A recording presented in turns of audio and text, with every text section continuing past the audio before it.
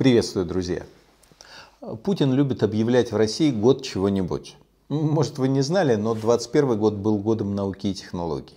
Это на словах, конечно. На самом деле это был год репрессий, год закручивания гаек. Ну, что тоже, в общем, конечно, технология.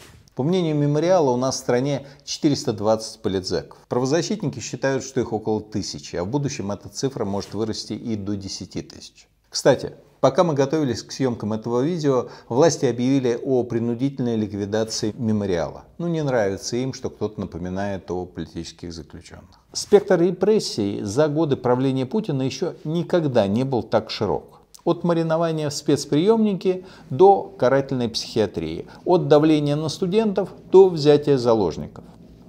Давайте вот попробуем вместе оценить масштаб бедствия. Итак, десятка самых абсурдных политически мотивированных дел в России 21 года 21 века. Начнем, понятно, с конца.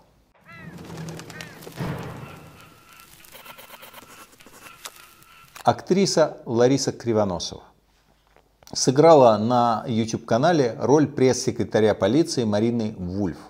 В ответ получила штраф 1000 рублей – и арест 10 суток за незаконное ношение формы. Утром 19 сентября на пульт дежурного ОМВД города Уссурийска поступил сигнал о том, что на одной из городских автобусных остановок заложена бомба. Ну, бред.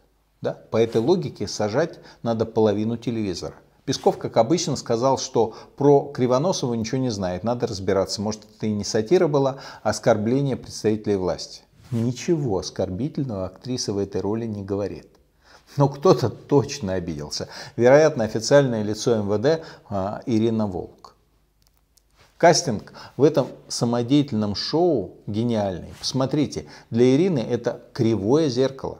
И еще одна деталь. В ролике у пресс-секретаря полиции с каждым кадром прибавляются звезды на погонах. Ну, совсем как у Ирины в жизни. В 27 лет она капитан, в 30 майор, в 33 подполковник, в 37 цельный полковник – стремительная карьера, гораздо быстрее, чем у оперативных работников. В 42 Ирина становится генерал-майором. И дали ей это звание за работу, которую, как мы видим, отлично может делать даже ранее судимая самодеятельная актриса. Решается вопрос о возбуждении уголовного дела. В октябре Кривоносову приговорили к трем месяцам колонии за нарушение административного режима. Сейчас она в тюрьме. Считает ли она сама себя политзаключенной, это неизвестно. Но факт, больше в роли Ирины Волк мы ее не увидим как минимум в этом году.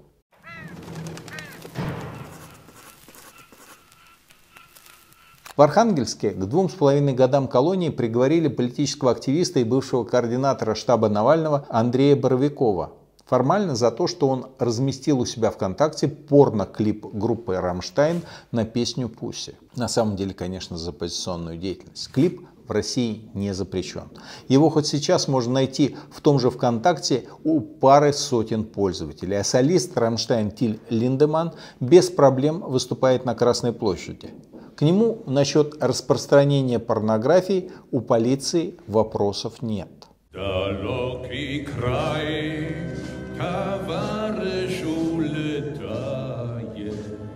Архангельская полиция, очевидно, сдалась цели обвинить Боровикова во всем, что сможет придумать. Активист отбыл 8 суток ареста за пропаганду нацизма, потому что в одном из видео на его странице промелькнул Гитлер. Заплатил 4000 рублей штрафа за пропаганду наркотиков в клипе Децла. А теперь с распространения порнографии. Причем за абсолютно легальный клип. В общем, в Архангельске в этом году посадили рецидивиста. Любимый город может спать спокойно. Любимый город может спать спокойно.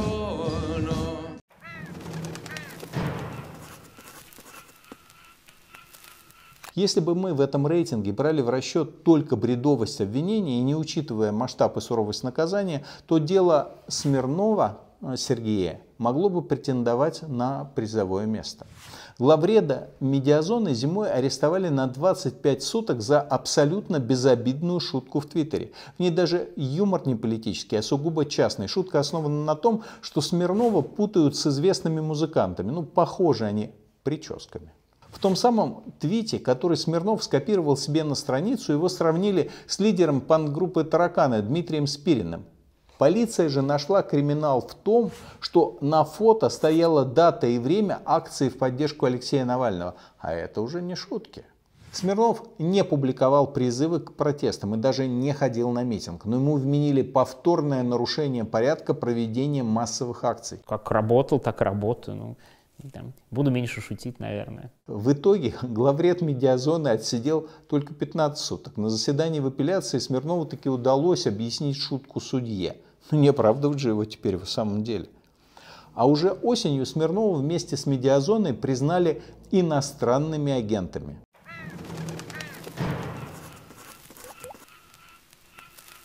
Есть такая отдельная категория политических уголовных дел по инициативе снизу. Какой-нибудь товарищ майор засиделся в тесном кабинете, и вот у него выбор.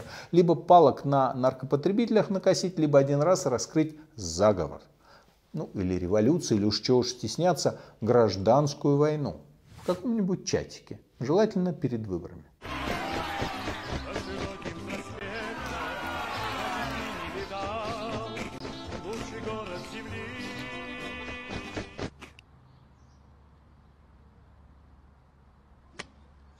Этот мультфильм студентка Высшей школы экономики Мария Платонова сделала по следам летних протестов в Москве в 2019 году. А он о том, как случайный человек попал за решетку. Фильм практически пророческий. Так вот, накануне выборов Следственный комитет обезвредил группу подстрекателей. Они якобы призывали выходить на центральные площади своих городов 18 сентября. Посты и видео они публиковали в телеграм-канале «Что делать?». Всего было арестовано 11 человек, среди них и Мария Платонова. И ее история самая абсурдная. Следствие заявило, что Мария тоже писала в чат сообщения. Именно она якобы скрывается под ником Вован Забивной. И никаких доказательств этого следствие не предоставило. Но это не помешало суду отправить Марию под домашний арест. Обвинение и вовсе попросило посадить Марию в СИЗО. Впрочем, как и остальных фигурантов этого дела. Абсурдность этого дела в том, что домашний арест совершенно невиновного человека – это по нынешним временам вполне себе победа гражданского общества.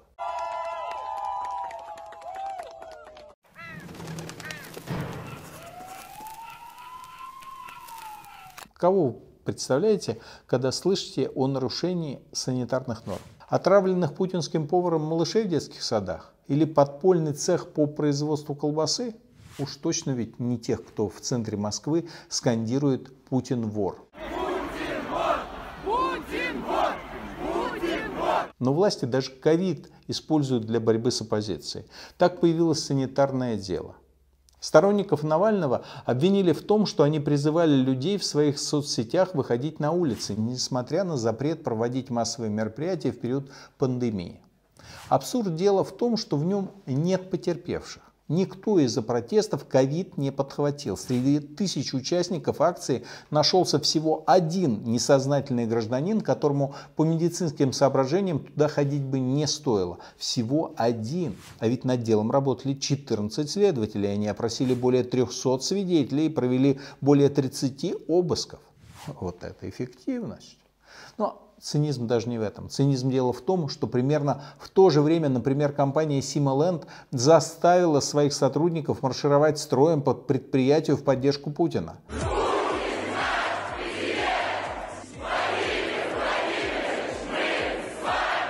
Ведь на мероприятиях в поддержку Путина ковид же не распространяется. Кстати, пока расследовалось санитарное дело, президент и сам выступил перед толпой на стадионе без маски, да еще и с сомнительными призывами. Пожалуйста, вдохните как следует. Путин собрал толпу в марте, уже больше полгода прошло, а дела в отношении организаторов этого митинга так почему-то и нет.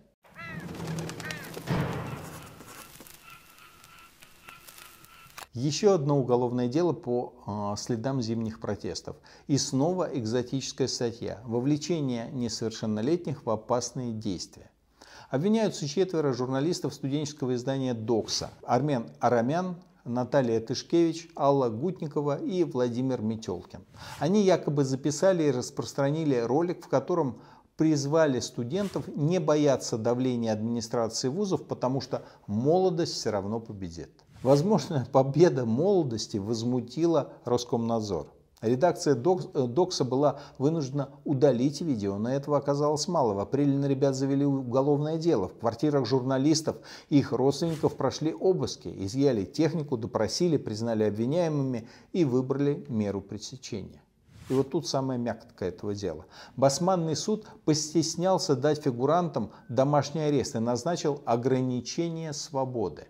Вот только ограничена она оказалась чуть меньше, чем полностью – им нельзя было пользоваться интернетом, нельзя общаться с людьми, кроме адвокатов. А главное, разрешалось покидать свой дом ровно на 60 секунд в сутки, за минуту до полуночи. В сетях ее прозвали «минута доксы». А «Эхо Москвы» отдало это, эту минуту эфира, чтобы фигуранты дела могли сказать все, что им заблагорассудится. Они читали стихи. Умываюсь, как будто я свободный человек, грею чайник, как свободный человек, еду в трамвае, как свободный человек. Позже суд сделал послабление, но молодые люди все равно до сих пор не могут полноценно учиться, работать и жить. А у нас впереди четверка самых не просто абсурдных, а еще и самых жестоких политических дел современной России.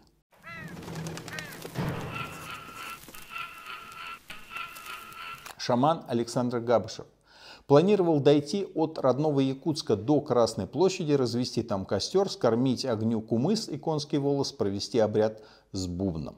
Вот таким образом он хотел прогнать из Кремля демона, из-за которого в России все беды, Владимира Путина, то есть. Скажете, абсурд? Нет, абсурд, что власть невозможно поменять на выборах, и поэтому шаману приходится пробовать это сделать при помощи бубна. Идти пешком из Сибири в Москву не преступление. И если бы мы жили в правовом государстве, то Габушеву просто не дали бы развести костер на Красной площади и все. Но как раз все-то получилось иначе. Следственный комитет обвинил шамана в экстремизме. Назначенные эксперты объявили его невменяемым, а суд постановил поместить его в клинику для душевнобольных. Юрист Алексей Принишников в октябре отыскал своего подопечного в Новосибирской психиатрической клинике специализированного типа. Это такой вид клиник, ну, он самый строгий, из него просто так нельзя выписаться и уйти домой. Теперь принудительное лечение займет, возможно, годы. А что, собственно, лечат? Желание человека сменить власть, неприязнь к Путину, оппозиционный настрой. Как показали недавние выборы, такие диагнозы становятся в России все более распространенными. И что теперь? Всех в психушку? Правозащитная организация Amnesty International потребовала от российских властей Минздрава немедленно освободить Габышева. У меня тоже есть свое обращение в российский Минздрав. Ну вот, если раз уж вы признали невменяемым человека, который хотел бубном свергнуть президента, Давайте проверим и самого президента, его прислугу, которая совершенно серьезно испугалась шаманского камлания.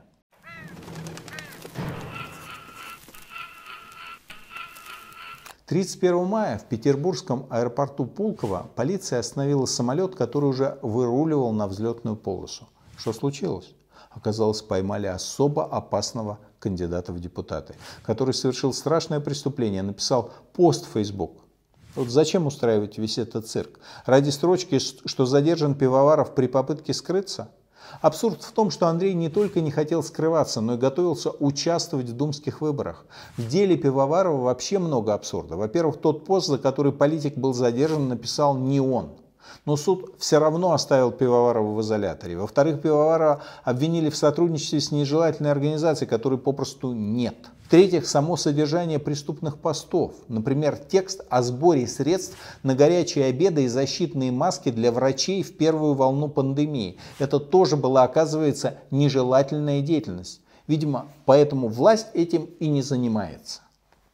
Андрей уверен, что его арестом изолировали от выборов. Отец, отец народов, когда отец народов когда-то говорил, что не важно, кто как голосует, важно, кто как считает. Для полной изоляции в суды по Андрею не пускали прессу, а мама Андрея за все эти пять месяцев так и не смогла получить с ним свидание. К сожалению, вот дальше, дальше этих дверей, э, этих ворот меня никто не пропускает, и свидания мне не дают. Выборы прошли, но не отпускать же теперь человека. Тем более на его примере так наглядно можно показать. Хочешь писать свое частное мнение в соцсетях – сядешь. Хочешь заниматься политикой – сядешь. Хочешь поддерживать политзаключенных – к ним присоединишься.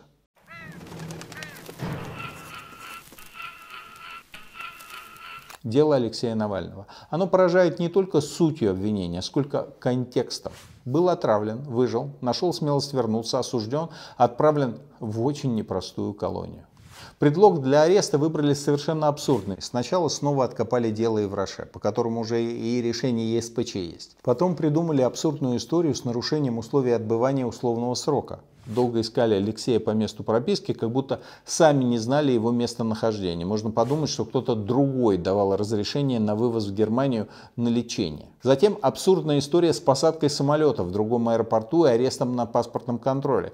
И вот, наконец, абсурдная постановка уже в колонии. То якобы больного туберкулезом положат на соседнюю шконку, то запрещают заключенным общаться э, с Алексеем, то демонстративно следят даже, пардон, в туалете. Я сам просидел в заключении более 10 лет в общей сложности. Такой прессинг пусть и не самое страшное из того, что было, но нервы треплет изрядно. И, конечно, вершиной абсурда в этом деле является отрицание властями очевидного. Никто никого специально э, за решетку не прячет из каких-то политических соображений. Ну да, это так просто совпало, что на каждого оппозиционного политика по уголовке. Нет, это не из политических соображений, просто все жулики в оппозицию идут. Ну, не в единую же Россию им идти, бюджет разворовывать. Ну, сами подумайте.